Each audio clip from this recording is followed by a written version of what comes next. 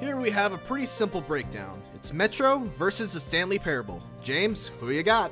I'm rooting for Galactic Cafe in this round. I really hope they win because the Stanley Parable took philosophical themes that often bore entire classes to sleep and presented them in a way that had gamers fighting against the laws of reality as we know it.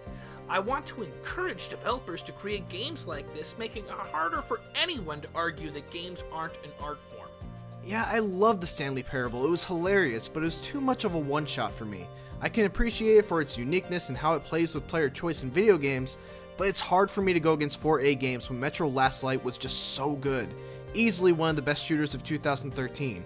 Incredibly atmospheric setting, it told a great and extremely well acted story, and it had a great combination of well designed stealth and straight up action portions of gameplay. But did it have a stop the baby from going into the fire minigame?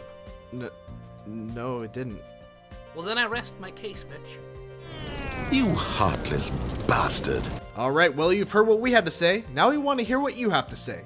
Drop us a comment and make sure to click the link in the description so you can vote. Then head on over to the Escapist forums for March Mayhem and make your voice heard.